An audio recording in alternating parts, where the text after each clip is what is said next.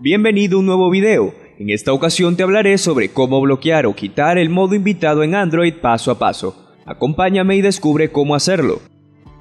No puedo comenzar sin antes mencionarte que todo lo que te hablaré en este video podrás encontrarlo dentro de este artículo, el cual presenta mucha más información.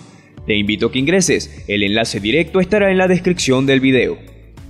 Activar el modo invitado en tu dispositivo Android puede ser de gran ayuda, ya que este permite proteger y ocultar de manera segura tu información privada, para que tus amigos, familiares o conocidos no puedan visualizarla, accediendo solamente a ciertas aplicaciones y archivos desde una cuenta de invitado. Cabe destacar que este modo solo está disponible en sistemas Android 5.0, pero si deseas desactivar esta función o bloquearla, debes seguir una serie de pasos para que puedas deshabilitarla. Este procedimiento sirve tanto para agregar o eliminar cualquier usuario que quieras, para que puedas añadir, debes acceder a Ajustes en tu dispositivo Android.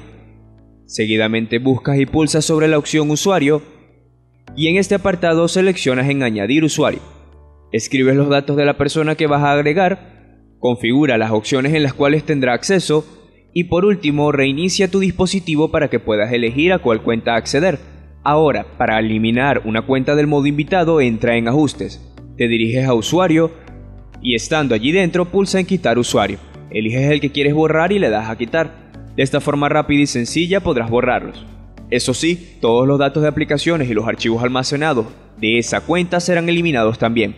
Aplicaciones y funciones tales como la conexión Wi-Fi, el Bluetooth o la mensajería se configuran automáticamente en cada usuario que añadas o elimines.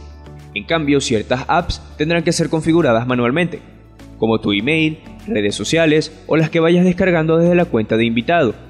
Al utilizar este modo tenemos como ventaja proteger y cubrir nuestra información, como también limitar el acceso a funciones o aplicaciones a las otras personas, sin necesidad de preocuparnos por si están invadiendo nuestra privacidad.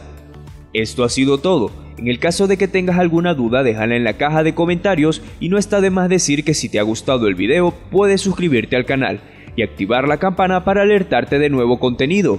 No olvides dejar tu like y continúa descubriendo cómo hacerlo. Hasta luego.